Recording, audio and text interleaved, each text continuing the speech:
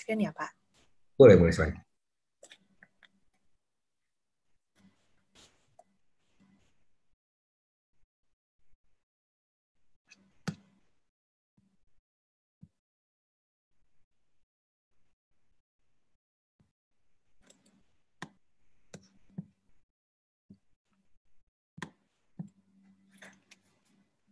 Apakah sudah terlihat?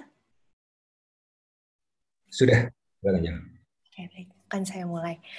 Selamat pagi, Pak Fitra. Selamat pagi, teman-teman semua. Hari ini saya, Fedi Ardin, mau menjelaskan sedikit tentang masa depan dari ASEAN Regionalism.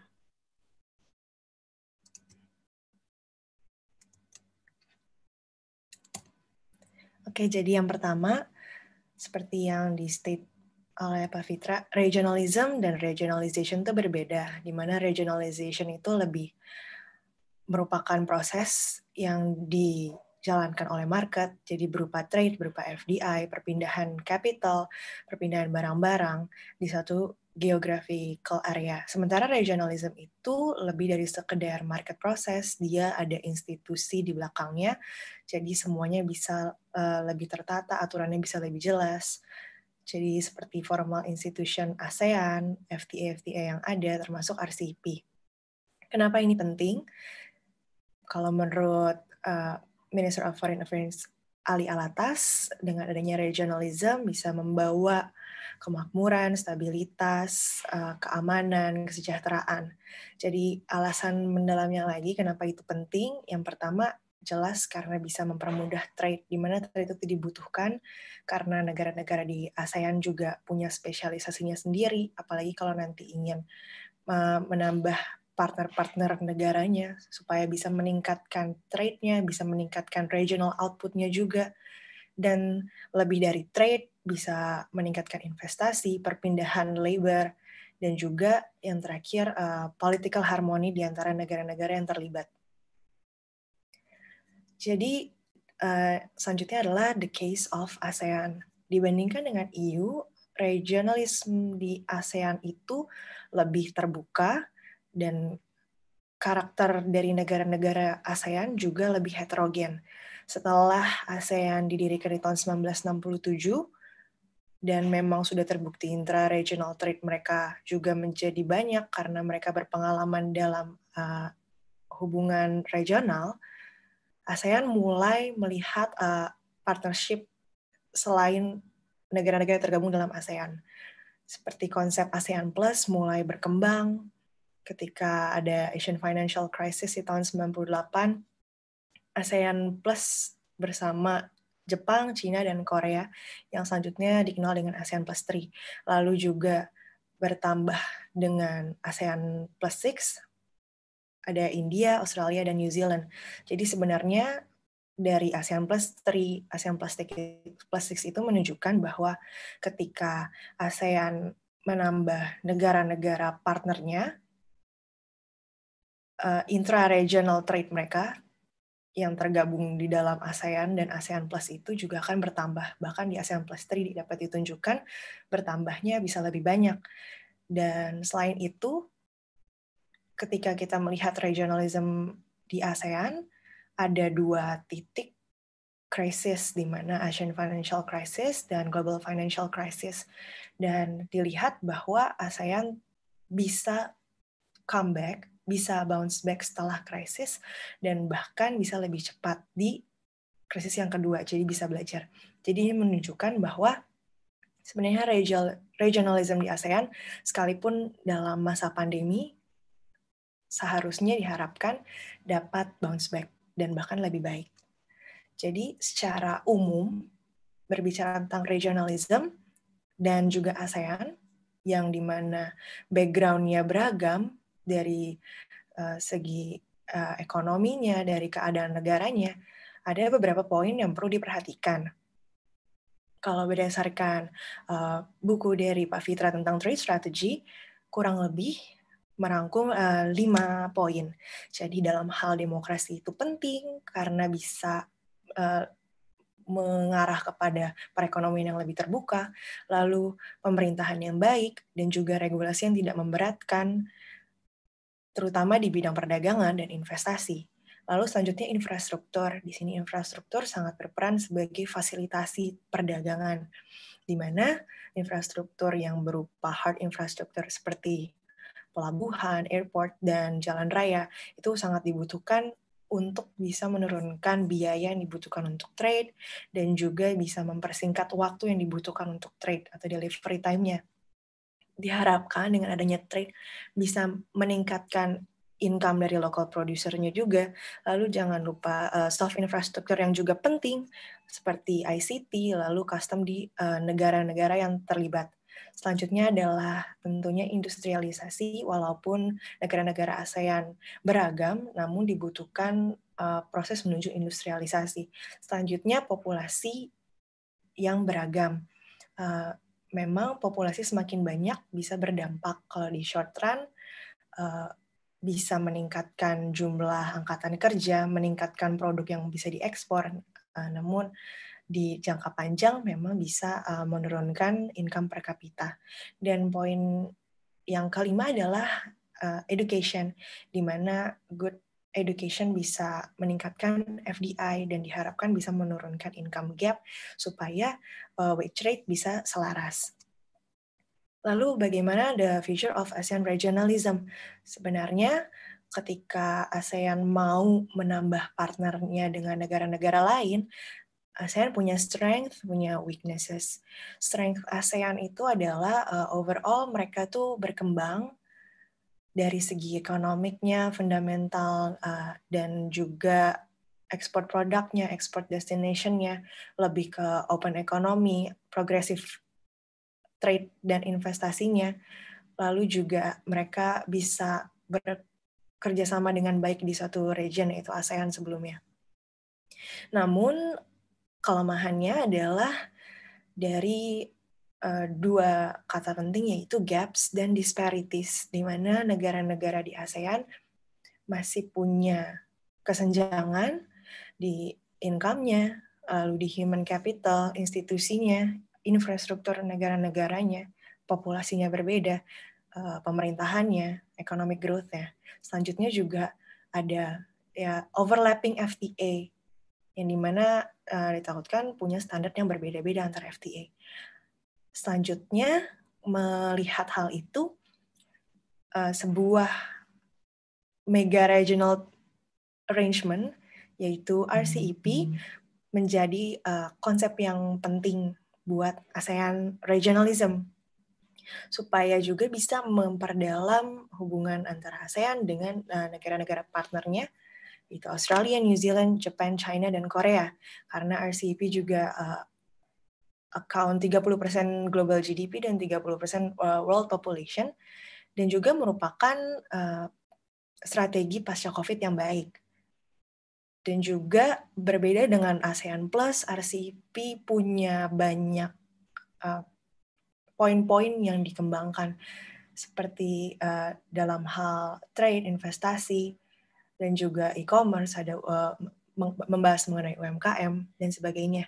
Dan lagi-lagi supaya semua negara-negara, terutama di ASEAN, bisa gain maksimum dalam RCEP dibutuhkan uh, struktural reform, reformasi struktural supaya bisa catch up dengan negara-negara yang memang sudah maju, terutama di ASEAN, misalnya Singapura, dan dibandingkan dengan Laos atau uh, Myanmar. Selanjutnya, walaupun RCEP klaim dia bisa ada per, uh, fleksibilitas atau treatment yang sedikit berbeda terhadap negara-negara yang uh, belum terlalu berkembang, tetap saja negara-negara ASEAN uh, perlu meningkatkan banyak hal. Yang di sebelah kanan ini menunjukkan beberapa hal yang bisa dikembangkan. Seperti misalnya Malaysia dan Thailand bisa lebih fokus ke uh, knowledge-based economy. Indonesia dan Filipina dikatakan juga uh, lebih fokus ke reformasi yang ada di pemerintahannya, lalu iklim investasinya bisa diperbaiki. Untuk Vietnam sendiri, lebih ke arah governance, rule of law-nya, institusinya. Kalau Kamboja selanjutnya dia sudah baik, sudah berpartisipasi di Global Production Network, tetapi harus memperbaiki legal institutions-nya. Lalu untuk Laos, dia sudah uh, catch up dengan baik, walaupun sempat berada uh, di bawah di antara negara-negara ASEAN, tapi uh, sudah menunjukkan uh, perubahan yang signifikan, terutama dari segi yang tadi uh, infrastructure dari World Bank's LPI sudah semakin meningkat setiap tahunnya. Dan selanjutnya adalah Myanmar uh, dengan um, perlu memperhatikan uh, government regime-nya dan apa dampaknya. Jadi selanjutnya, apakah Indonesia bisa ikut ASEAN dalam regionalism yang baru ini yaitu RCP?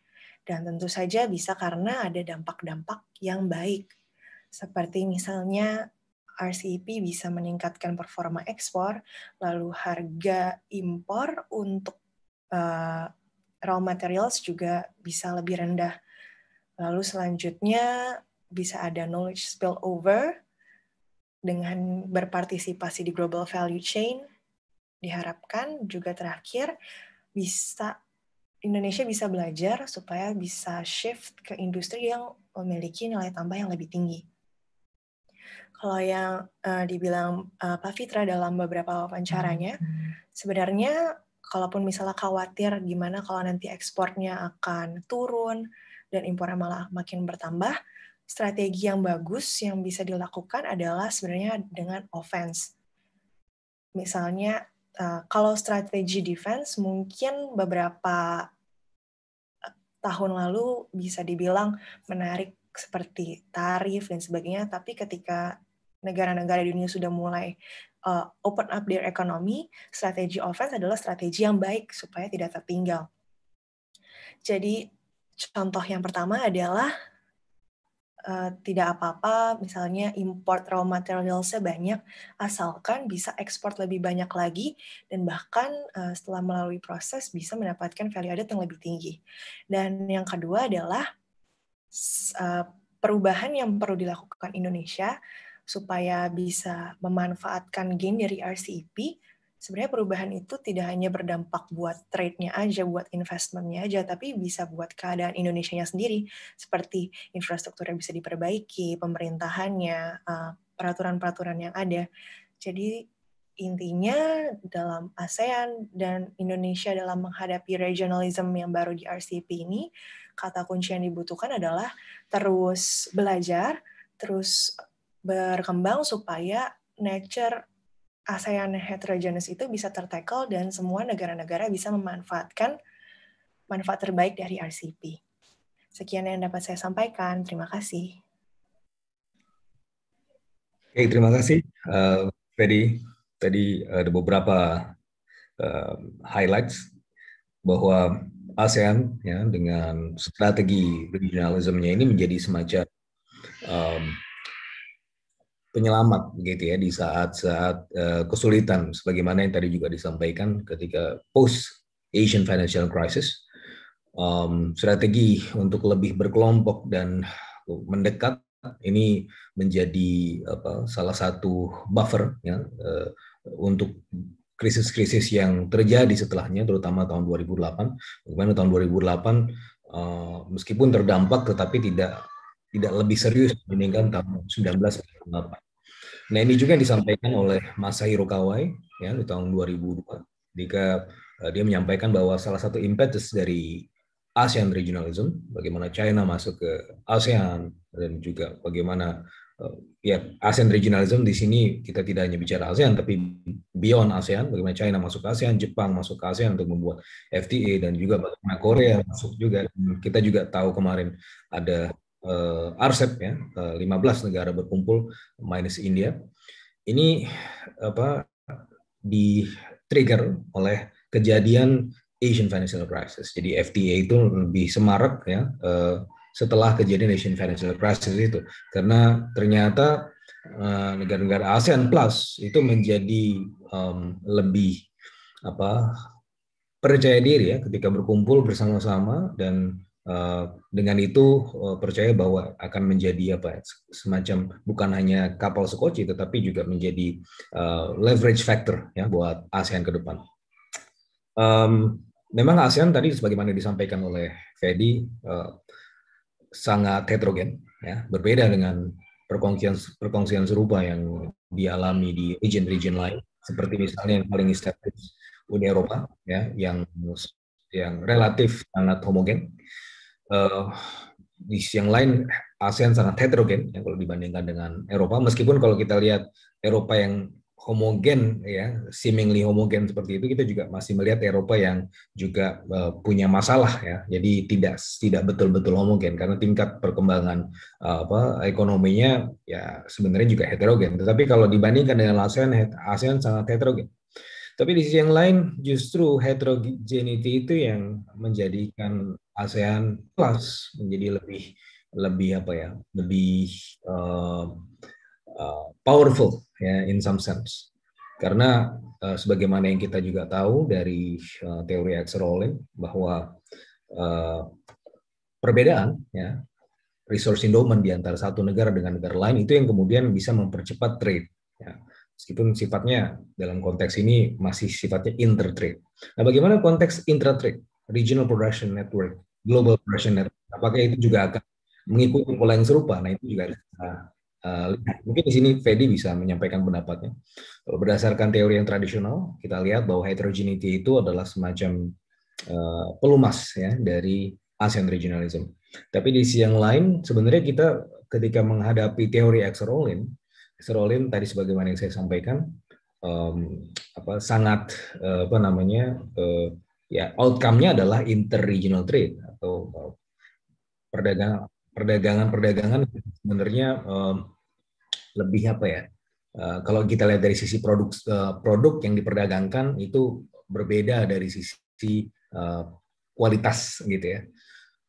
Tapi apakah kemudian perdagangan itu bisa masuk dalam kategori uh, intra-industri ya. Jadi inter-industri versus intra-industri. Ini apakah kemudian bisa um, apa namanya ASEAN regionalism dengan dengan tingkat heterogeneity yang seperti itu bisa kemudian mengarah pada intra-industry trade sebagaimana yang disampaikan oleh uh, Krugman ya, pengembangan selanjutnya dari teori Exerolin.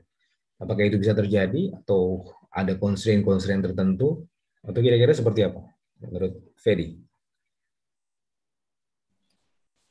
Kalau menurut pendapat saya, yang pertama perlu diperhatikan adalah keadaan uh, negara-negara di ASEAN dulu yang bisa lebih uh, disamaratakan karena tingkat industrialisasi negara-negara di ASEAN sendiri berbeda dan masih perlu banyak belajar dari negara-negara partnernya. Mungkin nanti ketika beberapa tahun ke depan akan bisa uh, ada dalam intra industri uh, trade, tetapi untuk saat ini bisa lebih fokus ke perbaikan dan dari fase uh, belajar dari negara-negara yang memang sudah lebih berkembang sisi uh, industrinya.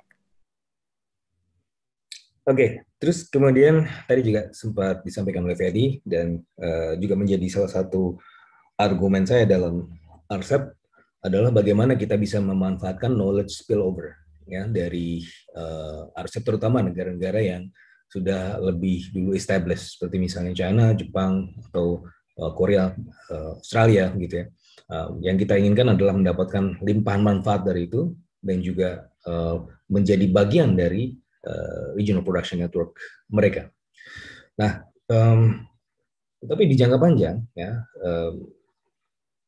apakah kemudian kita bisa menjadi apa namanya semacam powerhouse sendiri, gitu ya, sebagaimana China juga dulu uh, ngikut uh, production network di Jepang dan kemudian mereka establishing their own network sekarang apakah kita bisa mengikuti jejak itu? Dan untuk sampai ke sana, apa yang harus kita lakukan kira-kira? Kalau dari kasus China yang saya baca juga yang penting uh, benar awalnya belajar dulu masuk ke dalam uh, global value chain. Dia belajar dari Jepang sehingga akhirnya dia bisa improve uh, their own economy, bisa lebih powerful. Dan ini menunjukkan bahwa negara-negara lain di ASEAN termasuk di Indonesia juga bisa belajar seperti itu. Dan kuncinya kalau menurut saya adalah uh, jangan setengah-setengah. Kalau misalnya mau opening up the economy memang ya udah lakukan hal-hal yang dibutuhkan seperti tadi memperbaiki uh, investment climate-nya lalu infrastructure dan sebagainya dan uh, belajar dari eh, negara-negara uh, lain ekspor dan impor juga tadi nggak masalah asalkan bisa ekspor lebih banyak dan ya diharapkan ya mungkin beberapa tahun yang akan datang Indonesia bisa belajar seperti China bisa uh, lebih powerful sendiri seperti itu. Oke, okay. terima kasih Fedi. Uh, wah, kita intinya adalah bagaimana kita full throttle ya. Uh, ngegasnya full gitu ya ditekan sampai dalam. Tetapi tentunya eh, ketika kita melakukan strategi-strategi yang ofensif jangan lupa juga untuk membenahi industri dalam negeri ya. Jangan sampai kemudian uh, dalam sektor ofensif kita apa sudah sangat oke okay, tetapi uh, ternyata fondasi untuk kemudian melakukan strategi-strategi ofensif itu masih cukup tertinggal. Nah ini yang seperti bagaimana menginjak rem dan gas ya, uh, ya untuk mencapai tujuan uh, utama kita tadi itu untuk kemudian mengembangkan regional production network dan memanfaatkan sebesar-besarnya dan juga uh, untuk kesejahteraan masyarakat uh, di dalam negeri. Oke, okay, uh, berikutnya kita uh, lihat pendapat dari Arya. Silakan Arya jika ada yang ingin disampaikan. Baik, uh, terima kasih Pak. Uh, sebelumnya saya izin share screen. Silakan. Uh, uh, mohon maaf Pak, uh, sebelumnya bisa dipindahkan hostnya ini ke yang satunya lagi karena ini di HP.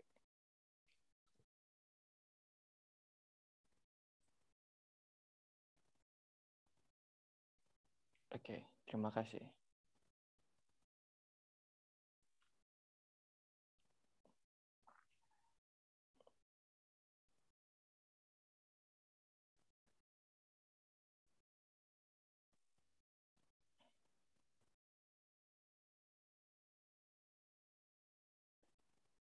Baiklah, uh, di sini saya akan menjelaskan bagaimana uh, kerjasama ekonomi kawasan plus dan regionalisme ASEAN di tengah perang dagang antara Amerika Serikat dengan China. Karena kita tahu bahwa uh, antara dua negara dari Amerika dan China itu sendiri saat ini sedang uh, panas terkait hal perang dagang dan lain-lainnya.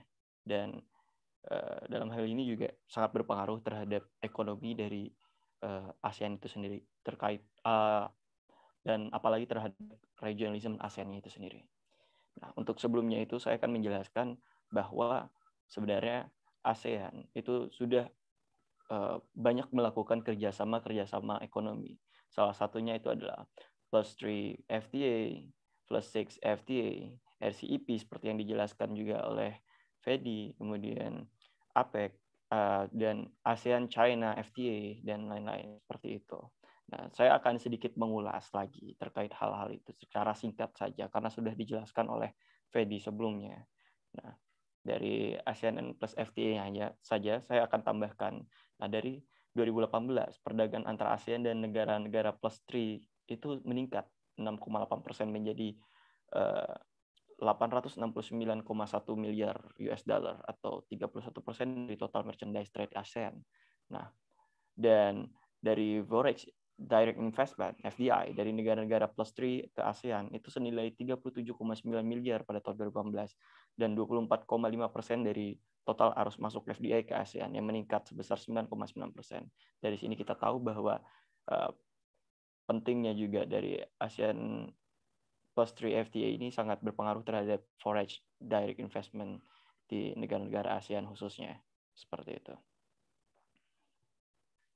Dan uh, ASEAN plus 6 di mana ASEAN plus 6 ini terdiri dari negara-negara ASEAN kita tahu seperti uh, Brunei, Indonesia, Kamboja, Laos, Malaysia, Myanmar, Filipina, Singapura, Thailand dan Vietnam dan plus China, Jepang, Korea Selatan, India, Australia dan Selandia Baru. Nah, apa aja yang eh, apa saja yang ada di ASEAN Plus Six ini yaitu perjanjian perdagangan bebas antara enam negara itu dan memfasilitasi perdagangan dan investasi di bidang ekonomi, energi, lingkungan dan teknologi informasi.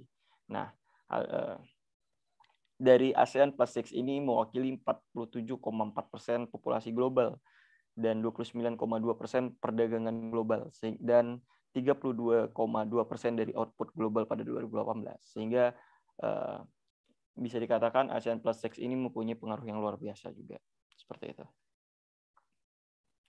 Oke, selanjutnya dari perdagangan-perdagangan tersebut ada juga ASEAN Pacific Economic eh, Cooperation atau APEC, di mana ASEAN Asia Pacific Economic Cooperation ini merupakan forum ekonomi regional di Asia Pasifik yang terdiri dari eh, pada tahun 1989 dan itu merupakan kerja sama non politik dan tujuannya adalah untuk mendorong pertumbuhan ekonomi, meningkatkan kemampuan di Asia Pasifik tentunya, dan menetapkan target uh, uh, Bogor Goals, di mana hasil kesepakatan dari KTT APEC di Bogor pada tahun 1994 eh, yang terdiri berasal dari tiga pilar utama APEC yaitu liberalisasi perdagangan, investasi dan investasi, fasilitasi e-bisnis, kerjasama ekonomi dan technical ecotech.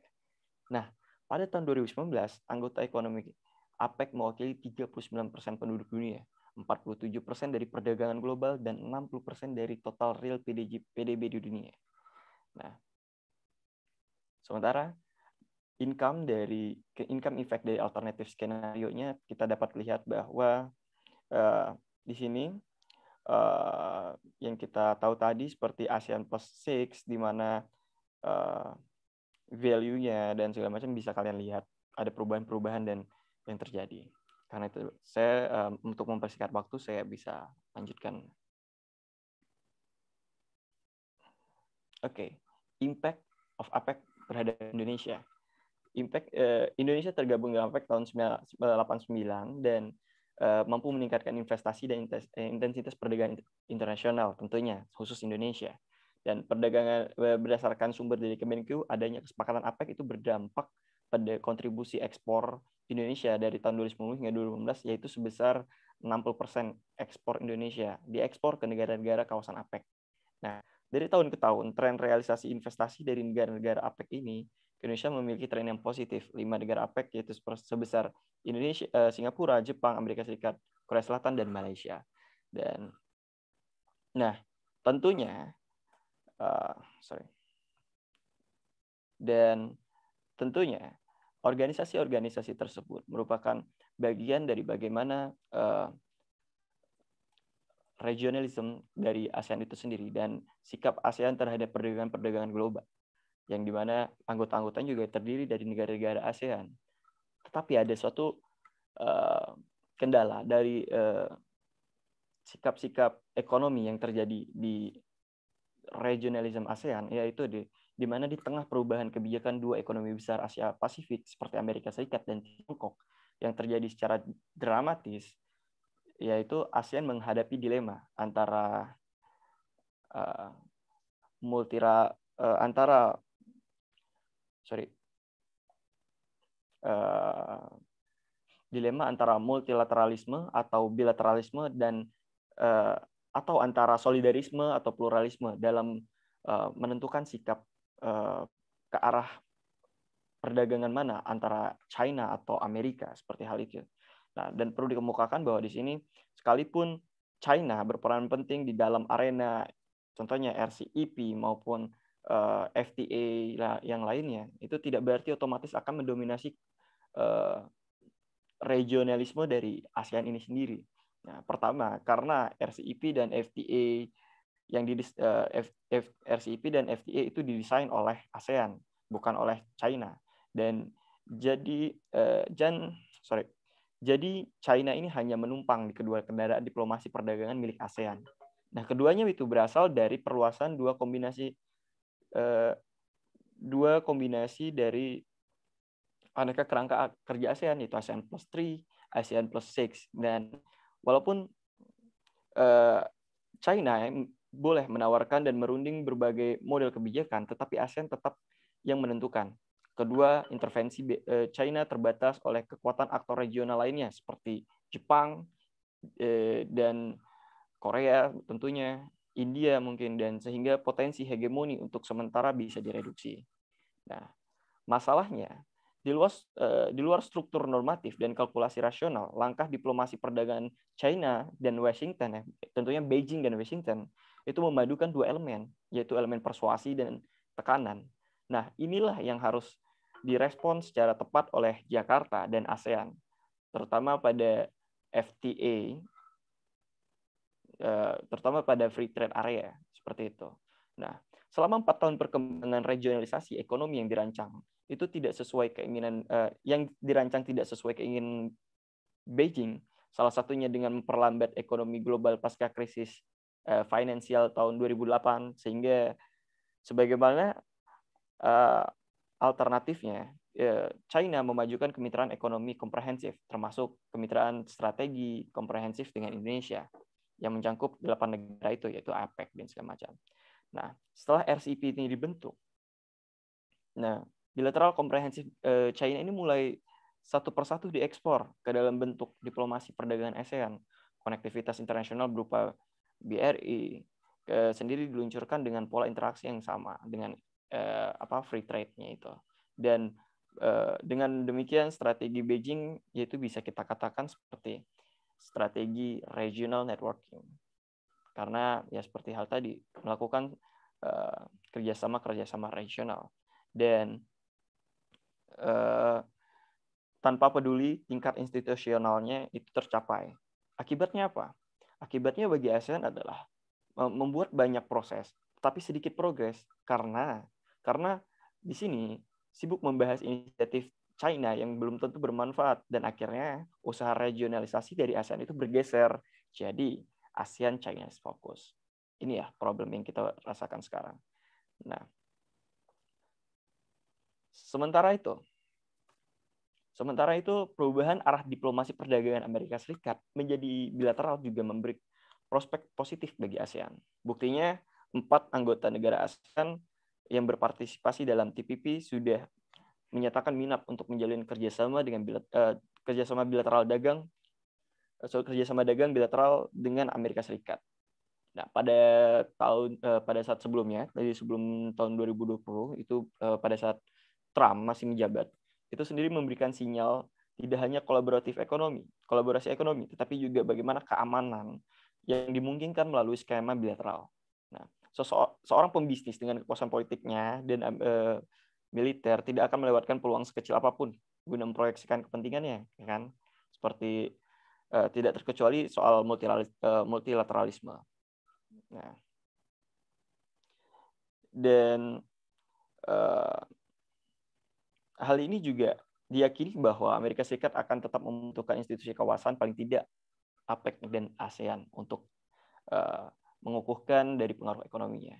Nah, uh, jadi kesimpulan yang dapat uh, saya sampaikan di sini yaitu ada dua dua poin penting bagi ASEAN. Pertama, ke mana sebenarnya orientasi kerjasama ekonomi dan perdagangan ASEAN secara kolektif yang nantinya juga akan berpengaruh ke depannya dan uh, mengambil apakah mengambil semua tetapi dengan resiko kompromi atas kedaulatan nasional ataukah berkonsentrasi pada satu pilar regionalisme atau mega regionalisme yang pasti membawa implikasi ketegangan antara Tiongkok dan Amerika Serikat. Dan yang kedua, masa depan pilar komunitas ekonomi ASEAN ditentukan oleh persepsi dan dukungan publik di dalam negeri terhadap aneka ragam perjanjian dan format perdagangan bebas bilateral maupun multilateral. Karena itu penting bagi pemerintah negara ASEAN untuk menengok ke dalam sebelum melangkah terlampau jauh gitu. Sebelum melangkah eh, melangkah terlampau jauh gitu ke luar kawasan Asia Tenggara. Mungkin itu saja yang dapat saya sampaikan. Lebih dan kurangnya saya mohon maaf. Terima kasih. Oke, terima kasih Arya. Jadi kita bicara uh, dalam pemaparannya Arya bicara mengenai ASEAN 3 dan ASEAN Plus 6 atau ya secara umum bicara atau Arya berbicara mengenai strategi beyond ASEAN. Ya bagaimana ASEAN itu seperti akan menjadi hub yang juga penting begitu ya. Uh, tidak hanya di region tetapi juga di dunia yang menjadi semacam penyeimbang atau kutub baru. Dan dalam hal ini juga penting untuk melihat posisi ASEAN ya dengan uh, antara dua gajah yang tengah bertarung bahkan sampai sekarang juga saya rasa uh, apa belum menunjukkan tanda-tanda yang lebih baik meskipun ya tentunya di era Biden uh, tidak lebih agresif dibandingkan dengan eranya Trump. Tetapi posisi Amerika terhadap China sebenarnya masih kurang lebih sama. Hanya saja pendekatan yang berbeda. Bagaimana yang kita tahu uh, Trump itu lebih bilateral ya yang itu yang kemudian kita lihat bagaimana kemudian Trump menarik diri dari TPP dan TPP sendiri adalah sebenarnya legacy dari Obama ya. Bagaimana uh, Obama menjadikan TPP ini menjadi semacam uh, kendaraan juga untuk masuk ke ASEAN. Tapi sebenarnya kalau dalam perspektif uh, apa uh, strategi baik Obama, uh, Trump maupun Biden ya sama terhadap China adalah uh, mereka lebih melihat China sebagai uh, kompetitor yang signifikan. Kalau Obama dan juga Biden mungkin nantinya lebih fokus kepada bagaimana apa namanya fokus pada strategi-strategi yang lebih multilateral dan regional. Ya, TPP ini dijadikan sebagai uh, penyeimbang gitu ya oleh Obama. Tapi kemudian Trump melihat uh, bahwa strategi bilateral itu jauh lebih penting dan lebih relevan untuk untuk uh, periodenya Trump.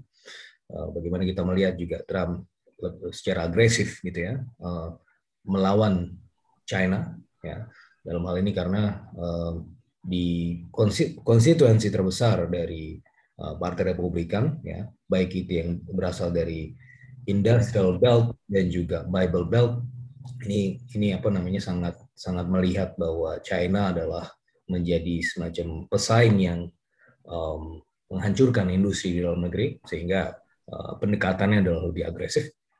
Tapi kemudian ketika uh, beralih di masanya Biden, sebenarnya posisi itu tidak tidak tidak serta merta luntur, tapi strateginya saja yang berbeda. Mungkin nanti Biden akan merevive TPP, kita tidak tahu, tetapi pendekatannya kalau kita melihat Biden di masa Obama seperti tidak akan jauh berbeda, uh, di mana di saat dia jadi presiden seperti pendekatan akan jauh lebih multilateral dan juga regional.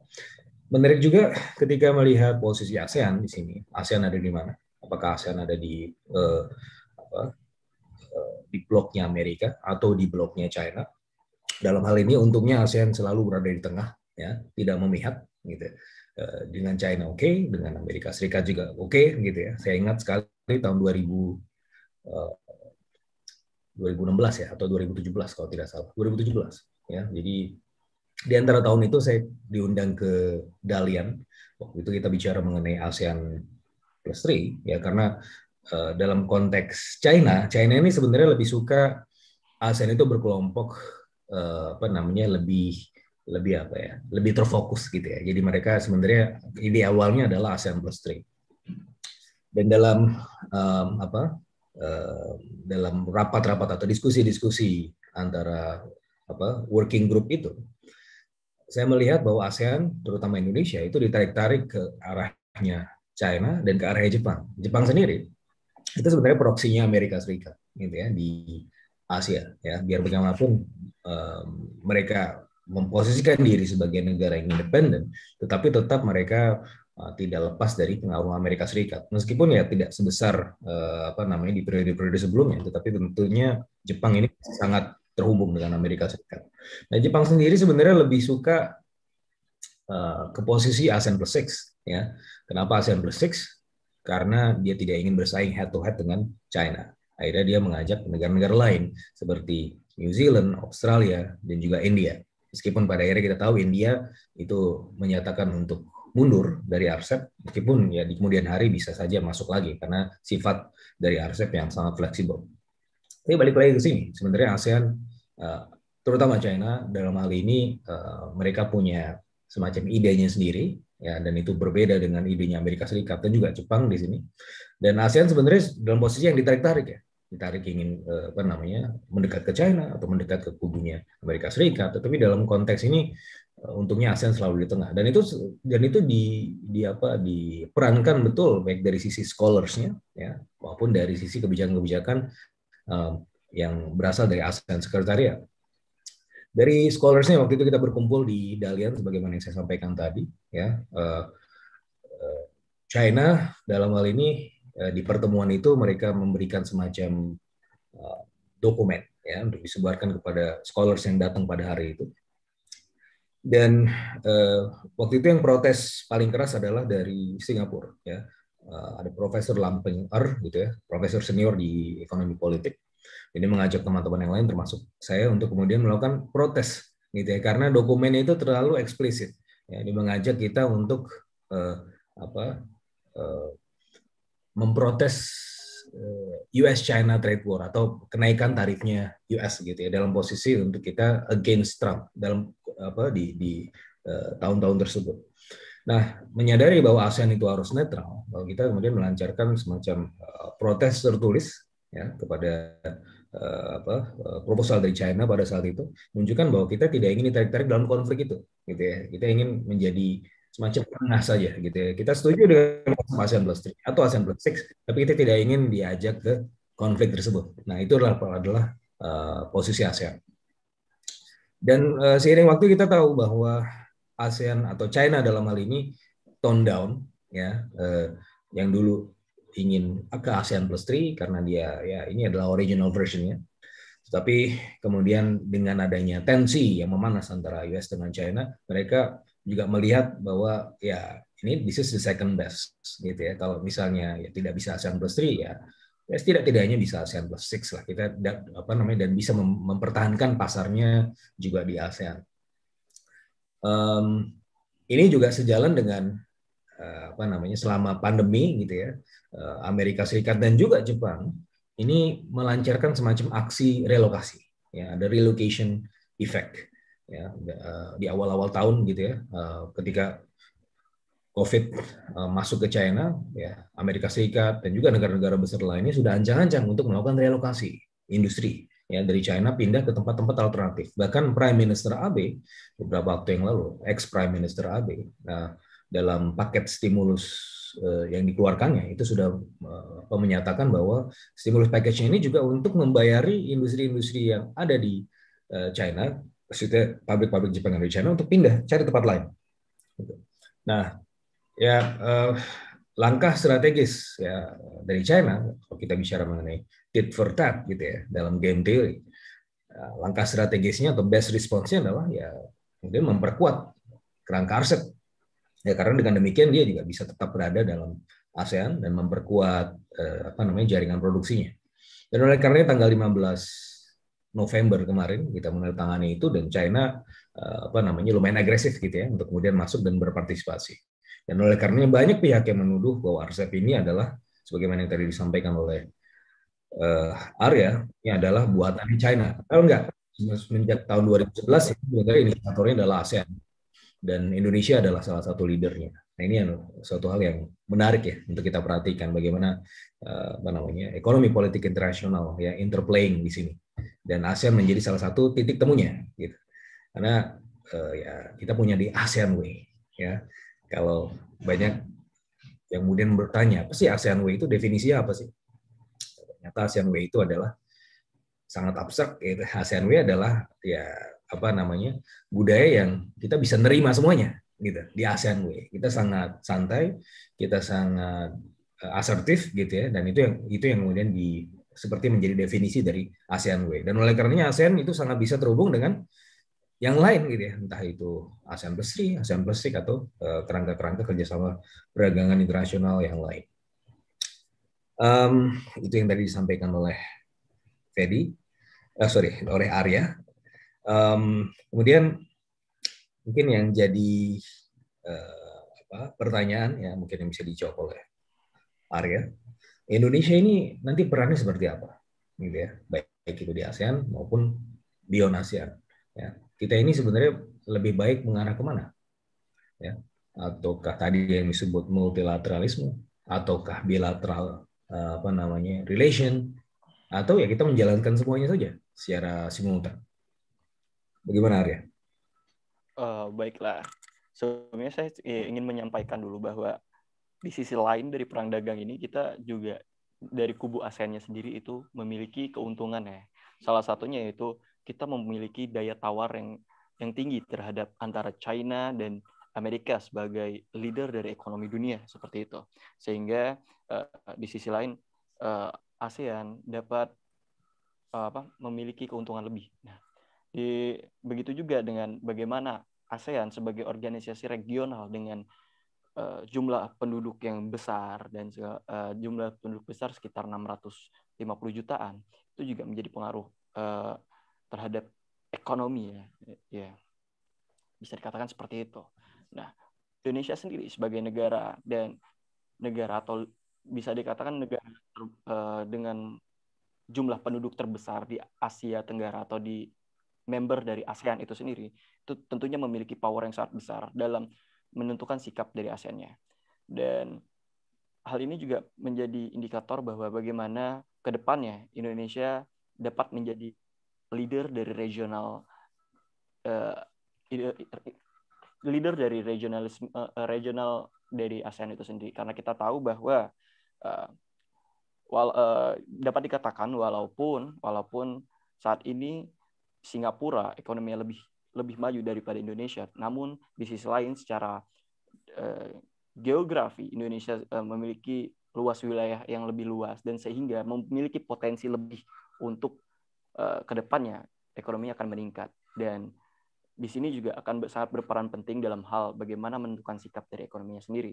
Nah, untuk ekon, uh, sikap dari ekonominya itu sendiri, yaitu uh, di sini Indonesia dalam hal ini juga uh, bagi saya secara pribadi itu lebih baik untuk uh, mengambil semua langkah, tapi dengan risiko kompromi dan kedaulatan nasional yang karena kita tahu bahwa kita tidak dapat mengabaikan uh, antara China dan Amerika Serikat karena pengaruhnya secara global, tapi kita bisa memberikan suatu porsi-porsi dari kerjasama itu sendiri. Mungkin seperti itu, Pak. Oke, terima kasih, Arya. Berikutnya kita uh, akan mendengar dari Andi Kurniawan. Silakan, Andi. Your thoughts uh, mengenai future of journalism. Ya, Pak. Baik, terima kasih, Pak. Um,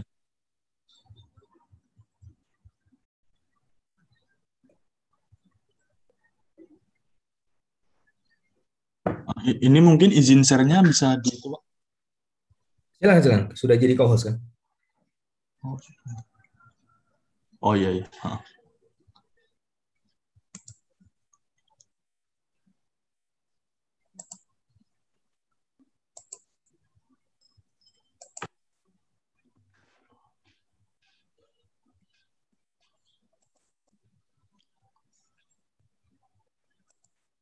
Apakah sudah terlihat? Sudah, sudah. Silakan. Oh, iya. um, sebelumnya, Assalamualaikum warahmatullahi wabarakatuh. Terima kasih kepada Pak Fitra, kepada teman-teman. Uh, jadi kali ini saya mungkin uh, akan membahas uh, nggak nggak cukup banyak sedikit mungkin karena tadi sebenarnya sudah sudah disebutkan juga. Dalam ini saya akan membahas uh, arah regionalisme ASEAN dengan beberapa kesepakatannya. Kita akan bahas dulu sebenarnya regionalisme ASEAN. Sebenarnya tujuan dari regionalisme ASEAN itu uh, untuk uh, pertumbuhan ekonomi, bagaimana bisa mempercepat uh, pertumbuhan ekonomi, kemudian uh, kemajuan sosial, pengembangan kebudayaan dan stabilan regional. Di mana sebenarnya tujuannya itu adalah kompromi uh, dari wilayah regional itu agar uh, wilayahnya itu bisa memiliki daya saing sebenarnya. Nah, anggota-anggotanya itu hmm, seperti yang kita tahu ada 10. Uh, eh, kemudian cara kerjanya di ASEAN ini sebenarnya mereka menjalin hubungan yang baik atau kerjasama secara internal atau berkoordinasi secara internal dan kemudian menjalin kerjasama dengan eksternal. Seperti yang telah disebutkan R tadi, uh, sebenarnya ASEAN sudah menjalin beberapa kerjasama. Dan yang terbaru ini, uh, oke okay, sebelum yang itu, mungkin kita akan bahas ASEAN dalam statistik. Nah, eh, dari eh, uh, 10 negara yang tergabung dalam ASEAN ini jika digabungkan memiliki total area sekitar dari 2019 itu 4.494 995 km persegi. Kemudian populasinya itu 655,9 juta. Kemudian pertumbuhan GDP-nya itu 2016 4,9 persen, 2017 5,4, 2018 5,2 dan 2019 4,6. Kemudian untuk uh, perdagangan internasionalnya bisa kita lihat ekspornya dari tahun ke tahun uh, cenderung meningkat, kemudian impornya juga meningkat. Tapi jika kita coba kita kurangkan ekspor dan impornya itu dalam 2000, eh, di tahun 2016 sampai 2019 bisa kita lihat itu mengalami surplus perdagangan. Kemudian untuk FDI-nya itu juga meningkat dari tahun ke tahun. Nah, seperti yang disebutkan oleh Arya tadi bahwa sebenarnya uh, ASEAN itu sudah apa yang menjalin kerjasama dan yang terbaru ini itu uh, Regional Comprehensive Economic Partnership atau RCEP. Nah, sebenarnya sekilas tentang perja, uh, kerjasama ini itu sebenarnya merupakan perjanjian perdagangan bebas yang diikuti oleh 10 negara ASEAN tadi, kemudian ditambah oleh Tiongkok, Jepang, Korea Selatan, Australia, dan Selandia Baru. Sebenarnya muncul juga um, beberapa apa ya semacam mungkin uh, desas-desus ya uh, bahwa RCEPA ini sebenarnya uh, digunakan oleh Cina apa ya untuk memperluas pengaruhnya di di ASEAN tapi uh, itu uh, ya perlu dipantau lagi dan tapi uh, di sisi lain itu bahwa nilai dari kerjasama ini itu cukup besar di mana berdasarkan laporan dari uh, ASEAN.org itu menyatakan bahwa RCEP ini mewakili 30% populasi dunia dan 30% dari PDB dunia. Itu itu itu cukup besar ya. Kemudian uh, fokus areanya itu pada perdagangan dan investasi, di mana perdagangan barang, perdagangan jasa, dan juga peningkatan investasi, yang sebenarnya gunanya juga untuk um, mempercepat pertumbuhan ekonomi di negara-negara ini sehingga bisa menyusul dari negara-negara maju. Nah, kemudian um, RCV RCV ini sebenarnya uh, ada beberapa manfaatnya ya.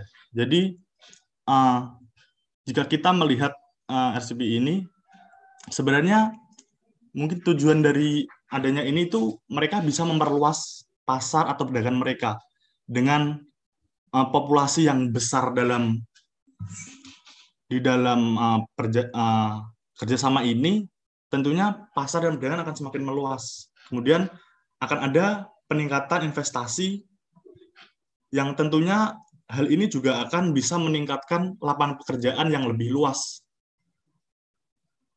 Sehingga pada akhirnya uh, dengan adanya perluasan perdagangan, dengan adanya investasi juga akan memunculkan uh, potensi peningkatan dari PDB. Nah, namun sebenarnya RCEP ini juga memiliki ancaman. Nah, ancaman yang pertama ini sebenarnya seperti yang Pak Fitra tadi katakan bahwa India itu uh, keluar dari RCEP ini dan dari beberapa berita yang saya tangkap bahwa India itu menangkap ancaman ini sebenarnya. Ancaman uh, akan uh, banjirnya produk Cina sehingga akan mengancam produk lokal sehingga akhirnya India juga mengundurkan diri dari uh, kerjasama ini. Tapi uh, itu mungkin juga belum apa ya belum pasti akan mungkin itu sifatnya juga sementara. Kemudian uh, kerugian yang selanjutnya adalah potensi defisit neraca perdagangan, di mana uh, dengan apa ya daya saing produk yang yang yang yang rendah dan juga banyak impor atau produk-produk dari luar negeri yang masuk juga akan mengakibat defisit neraca perdagangan. Nah, kemudian dari adanya investasi modal asing yang masuk ke ke dalam, dalam negeri atau ke negara-negara ASEAN ini pada akhirnya sebenarnya juga akan memunculkan namanya uh, potensi defisit neraca pembayaran di mana contohnya misal jika uh, suatu investasi menghasilkan return dari dividen, kemudian dividennya ditransfer ke luar negeri, maka bisa akan menghasilkan defisit neraca pembayaran. Kemudian uh, dengan investasi yang dikuasai asing juga um, bisa apa ya, ya uh, meningkat dengan adanya keuntungan yang di dikeluarkan ke luar negeri pada akhirnya juga akan meningkatkan permintaan uh, meningkatkan permintaan dari uh, uang asing sehingga pada akhirnya juga bisa melemahkan mata uang dalam negeri.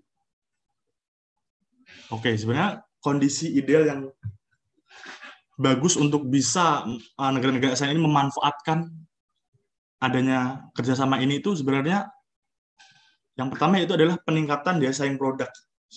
Jadi negara-negara ASEAN itu harusnya mempunyai apa ya produk yang yang berkualitas yang menilai ya setidaknya mereka harus mempunyai keunggulan keunggulan komparatif di beberapa uh, di ya at least satu atau dua produk sehingga dia bisa memanfaatkan keunggulan itu sehingga bisa meningkatkan nilai dari produk itu.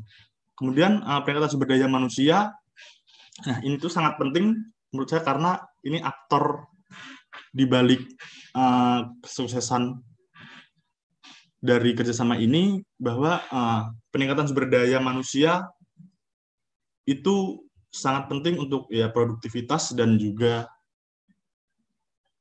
um, bagaimana bisa um, bersaing dengan negara-negara uh, yang berada di ASEAN ini.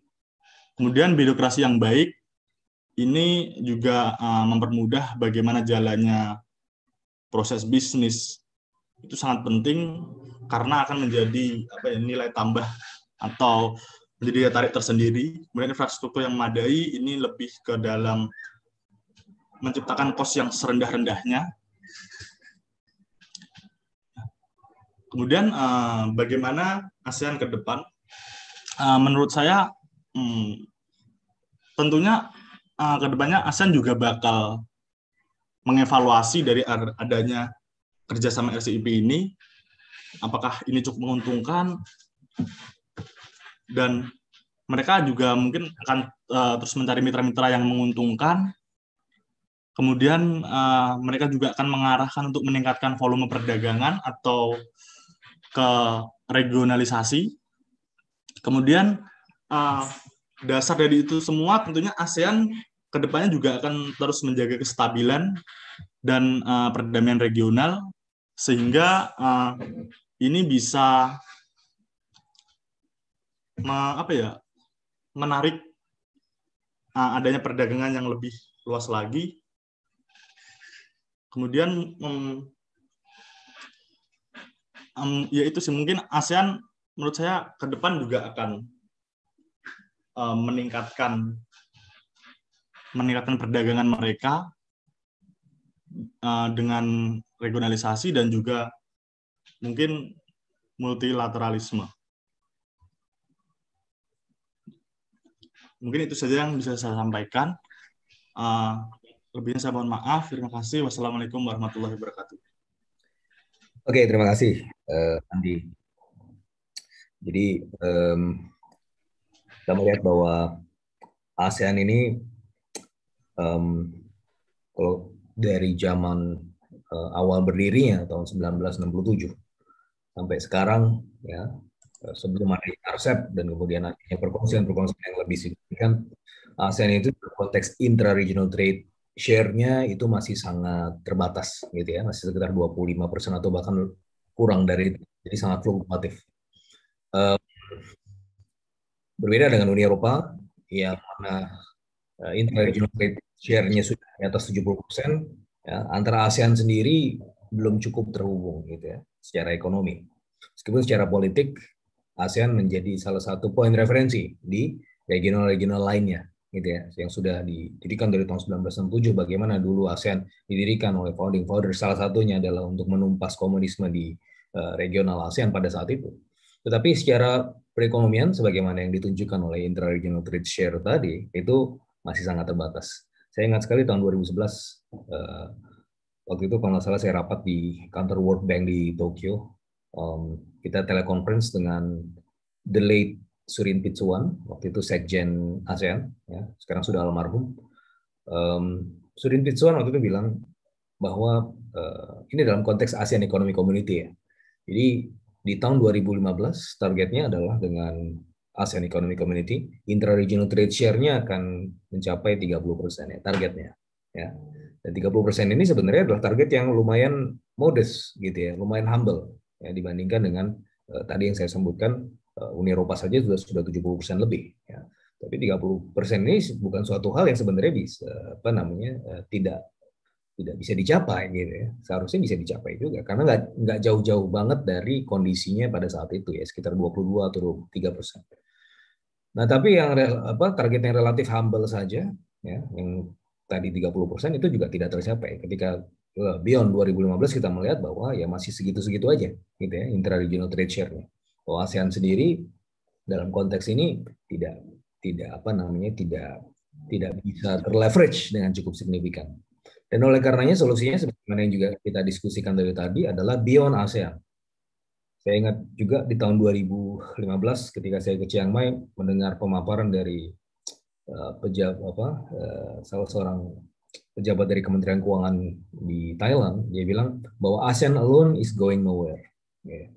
Jadi ASEAN sendiri, ASEAN nggak bisa ke mana-mana sendirian, gitu ya. Dia butuh uh, pull factor.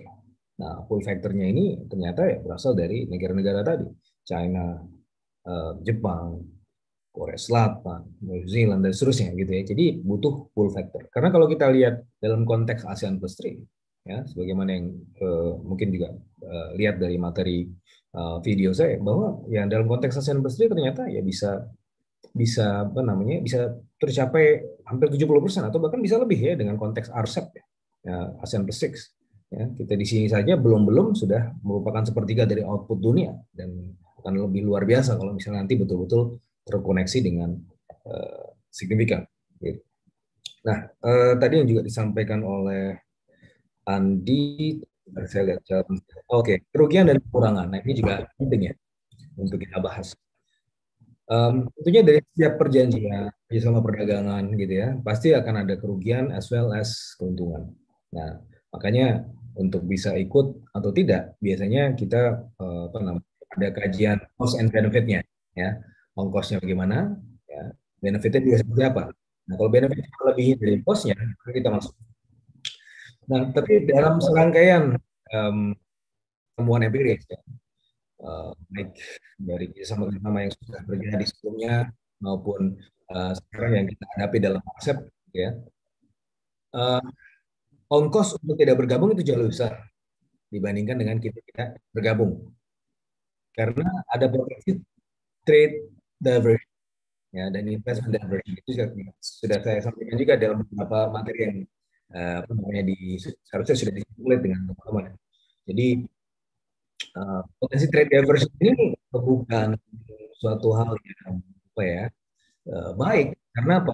Karena ketika kita biasanya berdagang dengan negara-negara partner, gitu ya partner-partner yang lain, dan uh, dengan mereka berfungsi dengan teman-teman lain dan kita berada di luar berfungsi yang tersebut, maka akan ada potensi trade diversion. Dan trade diversion ini artinya sebelumnya berdagang dengan kita, terus akhirnya Eh, apa dengan ada kepausian itu mereka berdivert tempat-tempat yang lain yang jauh lebih tumbuh dan lebih signifikan. Sehingga ya, potensi ekonomi kita ke depannya akan negatif gitu ya. begitu juga dengan investasi. Karena trade and investment itu access eh suara saya terdengar ya? Tak putus-putus suara saya masih jelas ya terdengar? Jelas pak. Terdengar. Oke okay. oke kembali lagi. Tadi berarti Eh, apa namanya biasanya kalau bergantung teman-teman empiris uh, yang kita lihat adalah bagaimana caranya untuk menghindari trade diversion tadi. Ruginya pasti ada, gitu ya. Jika kita masuk tadi akan ada potensi-potensi kerugian seperti yang disampaikan oleh uh, Andi tadi. Tapi ternyata dalam beberapa perhitungan potensi trade diversion itu jauh lebih besar dibandingkan potensi kerugian-kerugian tersebut. Nah, India menarik. Karena India ini secara apa uh, pengetahuan grassrootsnya terkait dengan kerjasama perairan internasional itu cukup signifikan gitu ya. Jarang sekali kalau di Indonesia ya, dalam dalam dalam negara ASEAN yang lain saya rasa itu juga sepertinya tidak seperti ini. Jadi kita melakukan kerjasama perdagangan internasional, ekonomi internasional itu uh, ada yang progres tapi tidak banyak gitu. Terlebih dari grassroots ya grassroots kita sebenarnya tidak terlalu melihat oh kita ikutan atau enggak. Karena karena mereka, melihat ini masih sangat abstrak gitu. Uh, sementara di ini ya berbeda ya. Apa yang mereka lakukan ya secara kerjasama internasional itu sangat dilihat oleh grassroots ada banyak aksi demonstrasi ya di India terkait dengan uh, keterlibatan India dalam ASEP terutama dalam hal ini mereka sangat anti China ya. India dan China itu ya adalah another thing gitu ya Ya. China kompleksitasnya di antara uh, Jepang dan Korea Selatan China juga punya masalah dengan Amerika Serikat, tapi India juga punya masalah yang serupa dengan uh, China. Apalagi mereka juga sudah bertempur secara fisik di perbatasan gitu. Nah, ini ini yang yang, yang menjadi dia agak reluctant untuk masuk karena desakan dalam negerinya ya eh, yang, yang signifikan. Tapi di kalau kita lihat dari potensi keuntungan ekonomi ya sebenarnya ya apa uh, lumayan menjanjikan gitu ya. Lagi kalau bisa kita menjadikan ini uh, untuk posisi Indonesia untuk menjadi apa um, posisi kita untuk memanfaatkan jaringan produksi baik itu China, Jepang maupun Korea Selatan. Um, ada potensi-potensi kerugian lain yang tadi disampaikan oleh uh, Andi bahwa kalau kita juga mengundang FDI yang mana itu pasti akan masuk ya uh, di dalam konteks di sama perdagangan internasional ya karena trade dan investasi sebagaimana saya sampaikan tadi di apa akan sangat terus gitu ya. Tapi masalahnya adalah ketika FDI masuk, nah FDI Jangan sampai seperti yang ditakutkan oleh Andi tadi. Ketika dia masuk, dicatat di capital account, tapi itu kemudian di apa namanya di, dihitung negatif di apa namanya karena kan karena apa ketika FDI masuk berarti kan ada dividen yang harus dibayarkan keluar gitu kan dividen yang dibayarkan keluar dan itu tercatat sebagai hal yang negatif di karena kan nah strategi bagaimana? Jadi strategi ke depan kita tetap mengundang FDI tetapi FDI-nya yang berorientasi ekspor. Sehingga ketika FDI masuk dan dia punya orientasi ekspor, maka itu bisa dikompensasi dengan kenaikan ekspor. Sehingga tadi potensi dividen outnya itu bisa apa di outmatch oleh eh, apa, peningkatan ekspor. Itu yang seharusnya kita cari. Jadi FDI tidak sembarang FDI, tapi FDI juga bisa mendukung industri dan juga kemudian uh, ekspor kita. Itu adalah salah satu hal yang kemudian uh, mungkin akan menjadi strategi kita ke depan.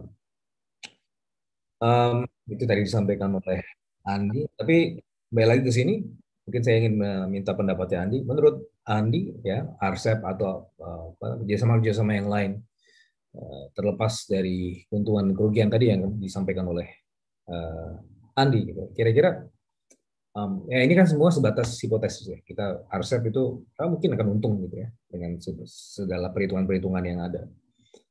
Tapi kira-kira ke depannya apakah betul kita akan menuai keuntungan itu atau jangan-jangan akan rugi besar sebagaimana yang kita takutkan karena ini semua masih di atas kertas di atas kertas kita untung tapi jangan-jangan nanti justru kita rugi besar ya.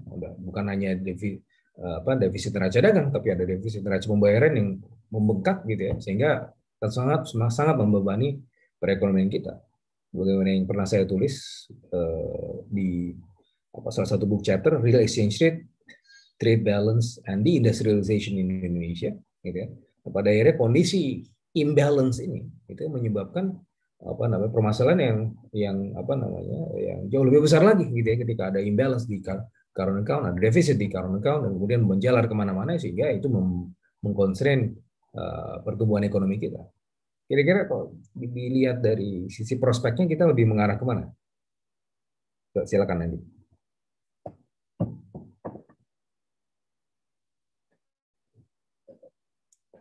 baik Pak, terima kasih. Uh, jadi menurut menurut pendapat menurut pendapat saya pribadi uh, secara prospek mungkin uh, bagaimana apakah mungkin ini menguntungkan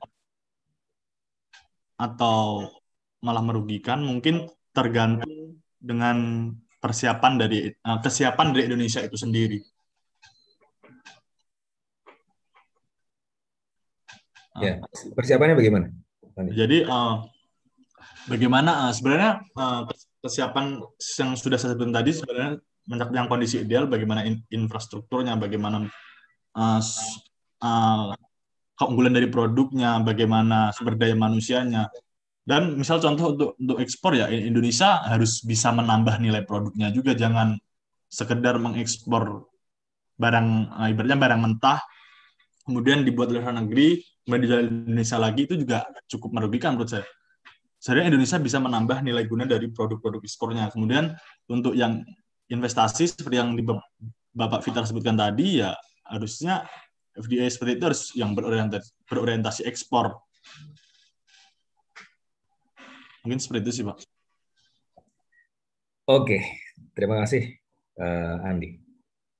Oke, kita sudah menuntaskan apa, tiga paparan dari uh, pemantik diskusi kita dan narasumber uh, dari Fedi, kemudian Arya dan juga Andi. Sekarang uh, saya akan open ke floor. Silakan kalau ada yang uh, ingin disampaikan, ingin didiskusikan? Floornya sudah dibuka. Ada?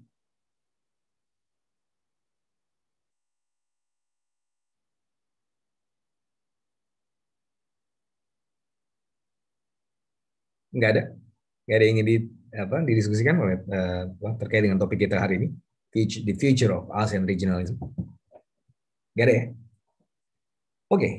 jadi uh, dari tadi kita membahas masa depan, ya ASEAN. Yang jelas kalau kita lihat ASEAN sampai sekarang ya, uh, tentunya ada progresi. Ya. Dari tahun 1967 dari awal ini didirikan dan kemudian berkembang uh, ASEAN kemudian menjadi ASEAN yang kita kenal sekarang.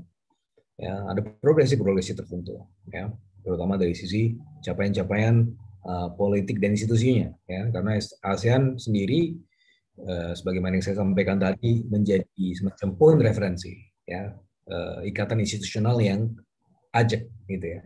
Tapi di sisi yang lain, sebagaimana yang juga kita diskusikan tadi, ternyata ikatan ekonominya belum cukup signifikan.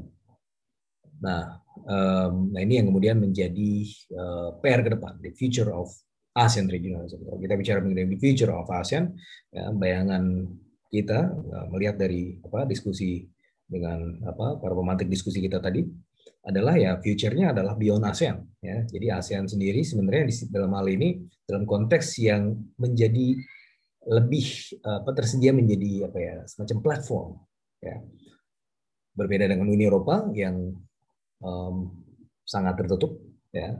Regionalisme adalah regionalism yang closed regionalism. ASEAN sendiri menjadi semacam open regionalism ya. Oleh karenanya dia bisa menjadi hub atau platform buat uh, kerjasama kerjasama perdagangan internasional yang uh, bervariasi. Bisa secara bilateral bisa juga secara uh, multilateral. Yang jelas um, kalau kita bicara mengenai bilateralism, uh, multilateralism, ya, regionalism, ada dua kutub. Ya, yang pertama yang disampaikan oleh Jagdis Bakwati, ini kutubnya Bakwati, yaitu dia bilang bahwa yang paling penting adalah sekarang kita bicara mengenai uh, apa namanya pendekatan-pendekatan yang seharusnya lebih multilateral dan ketika Bagwati menyampaikan pendekatan yang lebih multilateral itu, dia juga menunjuk salah satu lembaga multilateral yang juga sudah established, yaitu WTO. Nah, oleh karena semuanya harus anchoring kepada WTO. Dia bilang gitu. Kalau nggak akan terjadi semacam spaghetti ball effect. Ya. Um, jadi kalau terlalu banyak perjanjian-perjanjian sama, ya itu akan sangat messy, ya akan seperti spaghetti ball. Ya dan kemudian ini diamini juga oleh Mas Kawai. Dia, uh, dia bilang ini akan menjadi semacam noodle ball ya. Jadi spaghetti ballnya Bakwati itu kemudian dikonversi ke dikonversi ke apa namanya uh, terminologi Asia menjadi the noodle bowl. Ya. Tapi di sisi yang lain ya, kalau misalnya ini menjadi stalemate ya tidak ke mana-mana ya karena uh, apa namanya tentunya kalau kita bicara mengenai Eh, apa namanya uh, perkongsian yang melibatkan banyak sekali negara tentunya banyak sekali kepentingan terutama di WTO ya. Antara negara maju dan negara berkembang dan kemudian negara maju punya kepentingan ini negara berkembang punya kepentingan itu nggak ketemu ketemu sehingga mandek. Nah oleh karena butuh pendekatan yang lain ya yang ini disampaikan oleh Baldwin. Jadi uh, apa namanya regionalism kemudian bilateral negotiation dan seterusnya. Ini menjadi solusi yang second best. Ya. Nah, bagaimana supaya ini tidak criss crossing, tidak kemudian menjadi berantakan, sebagaimana yang um, ditakutkan oleh Bagwati. Ya, supaya tidak berantakan, uh, perjanjian-perjanjian perjanjian ini seharusnya lebih lebih apa ya? Tadi sebagaimana uh, dia punya kesepakatan apa semacam poin kesepakatan dengan uh, Bagwati dia sepakat si Baldwin bahwa semuanya harus anchoring pada WTO Ya. Jadi ketika melakukan kerjasama dengan perdagangan internasional harus WTO plus. Sehingga pada saatnya dibutuhkan nanti dia akan kemudian menjadi semacam mega RTAs dan itu bisa saling terhubung ya dan ya oleh karenanya ya apa namanya eh, semua akan seharusnya bisa kompatibel dengan WTO Dan itu yang kita lihat sekarang, bagaimana bilateral negotiations dan juga regional negotiations itu lebih apa namanya sifatnya WTO plus, lebih dalam dibandingkan dengan apa yang diatur oleh WTO. Dan oleh karenanya ini bisa berjalan menjadi semacam second best. Nah, untuk ASEAN sendiri ini menjadi solusi yang yang akan cukup signifikan karena sebagaimana yang saya katakan tadi dan argumen-argumen kita yang eh, apa namanya kita bahas selama diskusi tadi bahwa ASEAN uh, justru membutuhkan yang lain. Sebagaimana yang lain juga membutuhkan ASEAN. Ya. Jadi kalau dalam konteks ASEAN Plus, ya, bagaimana China, Jepang, dan Korea, yang juga saya bahas di buku saya, China ini sebenarnya antara tiga negara ini sebenarnya sudah sudah apa menjalin hubungan eh, apa namanya mencoba untuk menjalin hubungan yang lebih institusional itu semenjak awal 2000-an ya. Bagaimana kemudian Eh, mereka apa, berusaha atau berupaya untuk kemudian membuat trilateral eh, FTA di antara mereka itu terjadi. Tapi semenjak awal tahun 2000-an ya, semenjak awal saya belajar mengenai regionalism ya, sampai sekarang juga itu belum kejadian. Kenapa? Karena oh ternyata di antara tiga negara ini meskipun apa kalau kita lihat dari sisi apa namanya hubungan ekonominya seperti baik-baik saja, tapi secara politik mereka apa dalam kondisi yang apa tidak tidak apa ya tidak terlalu baik gitu. Nah, salah satunya adalah karena uh, pengalaman dari masa lalu yang sampai sekarang belum pudar di memorinya uh, negara-negara tersebut. Gitu. Ini kalau kalau apa mengikuti serial anime Attack of Titan ini ini bagaimana kaum Marlian ya itu sangat membenci kaum Eldians meskipun si apa namanya Eldians ini itu eh, apa namanya eh, dulu menyerang Marlian itu 1200 tahun yang lalu. Tapi masih kemudian menjadi objek kebencian bagi si kaum Marlian itu kalau misalnya ikut apa ikutin animenya Attack of the Titan. Ini sama nih dan China Korea Jepang. Mereka melihat terutama China ke Jepang ya itu mereka melihat bahwa eh, Jepang ini membunuh membunuh apa eh, dan kakek nenek mereka ketika perang. Begitu juga dengan Korea mereka melihat Jepang itu sebagai major culprits, apa musuh gitu ya buat mereka. Oleh karenanya eh, setiap apa perdana menteri Jepang yang ingin berkunjung ke Yasukuni Shrine, yang salah satu yang mungkin paling agresif itu sebenarnya terjadi tahun 2005 ketika Prime Minister Koizumi tahun 2005 mengunjungi Yasukuni Shrine. Yasukuni Shrine itu tempat seperti apa namanya taman makan taman makan pahlawan di Jepang lah ya. Berkunjung ke sana ke Yasukuni Shrine dan itu dilihat oleh China sebagai uh, apa um, uh, afirmasi kebencian gitu. Kamu masih ingat-ingat ini ya, kamu kamu masih apa menyanjung-nyanjung prajurit-prajurit kamu yang membunuhi apa eh, prajurit-prajurit kami ya kira-kira begitu. Sehingga itu akan menjadi terus menjadi objek kebencian. Ya. Secara historis ini tidak pernah lepas dari memori mereka. Berbeda dengan Eropa, yang mana Eropa ini awalnya dari uh, apa namanya European Coal and Steel Company, ya, bagaimana dia kemudian menjadi Uni Eropa, ya, uh, negara-negara besar seperti Italia, Jerman, itu kemudian berkongsi di awal ya dari apa namanya persamaan kepentingan mereka. Meskipun sebelumnya ya mereka ini saling bertarung di perang dunia ya. Tapi no hard feeling ya. Mereka terus melaju dengan itu. Berbeda dengan karakternya di tiga negara tersebut. Tiga negara yang kita sampaikan tadi ya.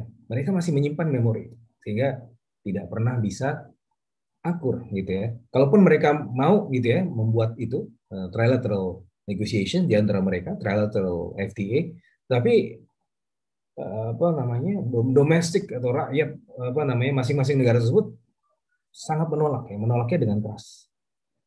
Nah oleh karenanya ASEAN itu bisa menjadi semacam uh, titik lebur mereka gitu, dengan di ASEAN W dan itu saya dengar sendiri dari dari satu scholar China ketika uh, kami berkunjung ke sana. Dan dia ingin belajar. Dan ingin menjadikan ASEAN sebagai hub. Dan udah nggak usah nggak usah China dan memimpin ASEAN saja. Karena ASEAN yang lebih dipercaya oleh yang lain. Gitu katanya. Di ASEAN W karena kita sangat no hard feeling. Gitu ya. Bagaimana kita dijajah Jepang tiga setengah tahun bagi Indonesia ya dalam konteks Indonesia. Dan uh, bagaimana kita jajah Belanda 350 350 tahun. Tapi di setiap Piala Dunia kalau karena timnas kita nggak bisa bertanding di Piala Dunia, kita selalu uh, apa namanya uh, mendukung baik itu timnas Jepang maupun timnas Belanda. Ya. Banyak juga orang Indonesia yang mendukung dua timnas itu. Artinya no hard feeling gitu. Dan itu tidak hanya Indonesia, itu bahkan menjadi karakternya ASEAN, ASEAN way gitu ya. ya yang ini apa namanya? santai-santai aja. Kita bisa menerima, sangat terima. Dan itu yang menjadi salah satu kekuatan ASEAN ternyata. Di, di sisi yang lain, ini sebenarnya menjadi salah satu constraint ASEAN untuk berkembang karena kita nggak sangat progresif di sisi ekonomi. Tetapi di sisi yang lain itu menjadi semacam apa, keuntungan kita juga bahwa dengan demikian ternyata itu bisa menjadi semacam titik temu untuk baik uh, kepentingan China, Jepang, Korea Selatan atau bahkan dalam hal ini kita bicara mengenai Amerika Serikat dan juga negara-negara lain. Jadi ASEAN ini menjadi semacam uh, arbitrage buat persikutan ya antar negara ya daripada ini bisa bertemu di ASEAN ya dan ASEAN sekarang in the driver's seat gitu ya yang menjadi supirnya ini akan mengarah ke mana itu tergantung ASEAN. Dan kita juga membutuhkan negara-negara tersebut, ya negara-negara yang lebih maju, ya, menjadi semacam pull factor. Karena kalau kita sendirian, kita nggak nggak akan ke mana-mana. Kita nggak punya eh, apa namanya daya dorong yang cukup signifikan dari dalam negeri, kecuali kalau ditarik dari luar. Ya, sebagaimana waktu itu diskusi saya dengan teman dari Malaysia dalam konteks TPP, Ya, waktu itu kita uh, di beberapa tahun sebelumnya, sebelum pertemuan uh, apa namanya ASEAN Plus 3, ya kita bicara mengenai TPP di Shanghai. Nah, uh, meskipun apa namanya secara formal kita nggak membahas TPP karena China nggak nggak ikutan TPP. Tapi kemudian ketika saya bertemu dengan teman Malaysia tersebut, saya tanya kenapa Malaysia itu ikut TPP dan ternyata ya apa namanya argumennya adalah um, kalau kita apa namanya mengandalkan pada usaha kita sekarang itu enggak enggak akan ke mana-mana gitu. Nah justru ketika kita join the big league, nah itu yang akan menjadi dan akan apa ya eh, meningkatkan kapasitas kita gitu. Dan itu menjadi argumen uh, apa saya dalam kemudian uh, apa namanya kenapa kita harus join RCEP, kenapa kita harus join TPP dan kenapa kita harus join join apa bisa perdagangan internasional yang lain karena itu yang akan meleverage kapasitas kita Ya. Bagaimana yang kita tahu bahwa uh, ada Bagas Kavi main di Utrecht, ada uh, Egi yang main di uh, Polandia. Kenapa mereka main di situ? Kenapa nggak nggak di Liga Indonesia? Apa namanya? Uh, putting aside gajinya memang di sana lebih tinggi, tetapi ya kenapa mereka main di situ? Karena secara kualitas akan terangkat dengan sendiri ketika mereka join di big league. Meskipun di situ cuma jadi cadangan, tapi kan mereka bersama dengan teman-teman lain yang lebih berkualitas sehingga kualitasnya secara eh, apa namanya secara otomatis akan terangkat gitu. Nah itu yang kita harapkan juga dengan berkumpul bersama apa yang saya sebut sebagai gerombolan elit gitu ya itu akan menjadi apa ya semacam pull factor yang signifikan buat kita dan akan menjadi leveraging factor yang seharusnya bisa bermanfaat buat uh, kepentingan ASEAN dan juga Indonesia secara khusus. Itu saja dari saya. Uh, terima kasih untuk uh, diskusinya hari ini.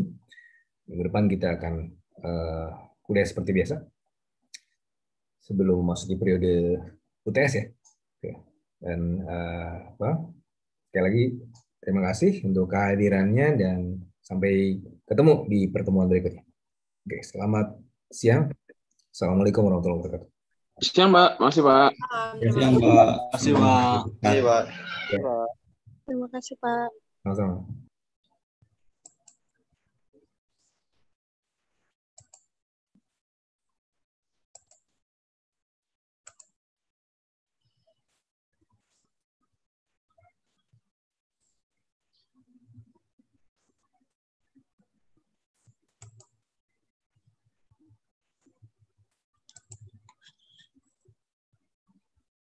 Aduh.